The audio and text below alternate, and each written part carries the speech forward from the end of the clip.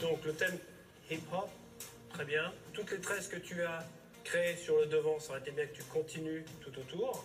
Et ensuite, tu as rajouté des cheveux. Super bonne idée, tu as lissé le cheveu de manière à le faire fondre avec les cheveux naturels, qui est très très très important. À voir comment elle va bouger. Eh ben, ne perdons pas de temps. Yo, c'est parti. You can't touch this. You can't touch this. You can't touch this.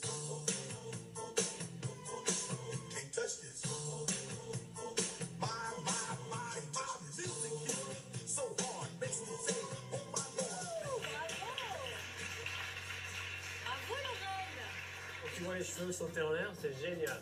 Et là, tout est tenu, pas de problème, hein. on voit bien que la longueur est jouée très très bien. Bravo.